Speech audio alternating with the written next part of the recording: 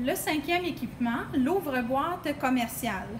Donc, au niveau du fonctionnement, pour l'ouvre-boîte commerciale, la première chose importante est de bien nettoyer le dessus de vos conserves, comme vu en découverte des aliments 1. Vous devez lever la poignée, tirer vers le haut, mettre votre conserve.